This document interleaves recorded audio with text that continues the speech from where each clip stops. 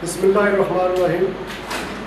सबसे पहले मैं अपने तमाम फैमिली का उनका शुक्रिया अदा करता हूँ, जो मेरे बेटी की शादी में उन्होंने बढ़ चढ़ का हिस्सा लिया।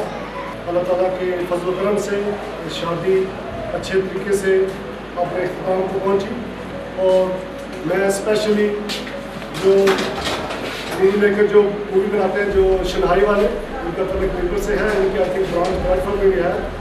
मैं बहुत खुश हूँ उनके टाइमिंग से और उनका जो सिस्टम है, जो पूरा मूवी बनाने का उनका हर लिहाज से मैं उनको दाद पेश करता हूँ कि वो बहुत अच्छे हैं।